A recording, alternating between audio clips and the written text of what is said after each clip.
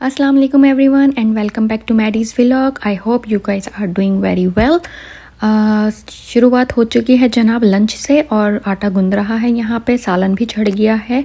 उसकी मैं आपको क्विक रेसिपी बताती चलती हूँ।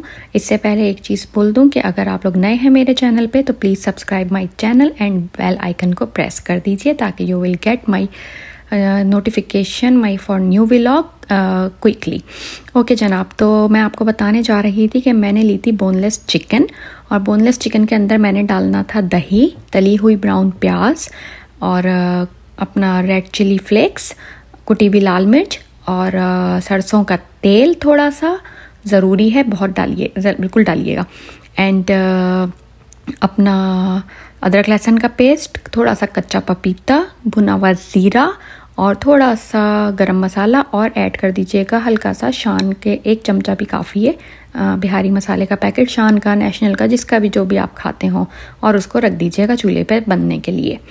यहाँ मैं आपको एक छोटी सी जल्दी से एक टिप देती जा रही हूँ कि अगर बिरयानी के चावल नीचे से लग जाते हैं तो देगची की तली में तेल और दही लगाकर ऊपर से चावल डालें तो वो नहीं लगेंगे। रख दिया था बनाने के लिए और क्योंकि हो चुकी थी बिहारी चिकन ऑलमोस्ट रेडी उसको कुछ नहीं किया था, सिर्फ़ चूल्हे पर ढक के रख दिया था और उसको भुनने के लिए रख दिया था। अब मैं यहाँ पर इसमें कोयले का दम लगाऊँगी।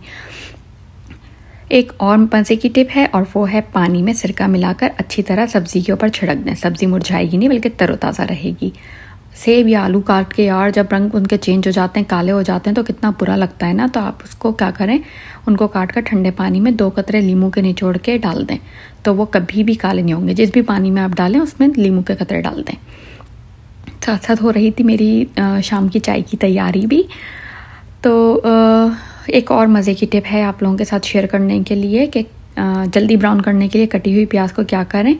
धूप में सिखाएँ या उस पर हल्का सा जो है ना नमक भी छिड़क दें।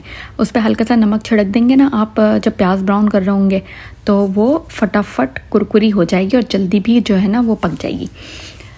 अंडे, ये तो बहुत ही यूज़फुल टिप है यार। अंडे जो है ना बहुत चिपक जाता है बर्तनों पे तो उसको फ्राई करने से पहले अगर आप उस पर तवे पे नमक छिड़क देना तो ये अंडा कभी नहीं चिपकेगा आपका। तो जनाब, उम्मीद करती हूँ आप लोगों को मेरी जो है वो टिप्स और रेसिपी पसंद आई होगी और रेसिपी तो ज़रूर तैयार, जो है ना, मैं आपको बोलूँगी ट्राई कीजिएगा। वो रेसिपी बहुत अच्छी है और झटपट बनने वाली है। कोई मेहनत का भी काम नहीं है। सारे मसाले डालो, एक साथ करो, उसको अच्छे से मिक्स करो। मिक्स करने के बाद उसको सरसों का स्पेशली तेल बिहारी कबाब में यूज़ होता है। थोड़ा सा दो चमचे डाल दें अपने दूसरे ऑयल के साथ और उसको जो है ना, रख दें बस दम पे बनने के लिए। चिकन तो वैसे ही बहुत जल्दी गल जाती है। तो बस वो बहुत थोड़ी सी बनाई थी, मैं उसकी रेसिपी रिकॉर्ड नहीं कर सकी। एक्चुअली रिकॉर्डिंग पे तो लगाया हुआ था, लेकिन रिकॉर्डिंग का बटन दबाना भूल गई। और प्लस क्या हुआ कि सबको भूख लगी हुई थी तो वो लंच में जो है ना, सब लोगों ने, क्योंकि हमें जाना था शाम में कहीं दावत में तो हुआ इस तरह से। कि बस मैंने वो थोड़ा सा नाश्ते के और लंच एक ही हो रहा था, वो जब चाय भी बन रही थी, आपने देखा तो एक साथ ही सब हो रहा था तो इसलिए मैंने वो ऐसे बना लिया था कि सब अभी खा लें, ताकि रात तक आराम तक मुझसे कोई कुछ मांगे नहीं, और हम सीधा वहाँ दावत में जाके खाना खाएँ। तो सारी ये कहानी थी एक्चुअली और साथ साथ मैंने आपके साथ जो है ना, वो छोटी छोटी टिप्स भी यूज़ जो है ना, वो डाल दी थी।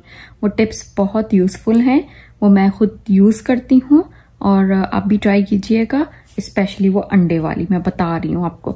तो चलें जनाब, यहाँ से लेते हैं आपसे अलविदा, और इनशाला फिर मिलेंगे नेक्स्ट व्लॉग में। अपना बहुत ख्याल रखिएगा, और दुआओं में याद रखिएगा, और इनशाला फिर मिलेंगे। अल्लाह हाफिज़।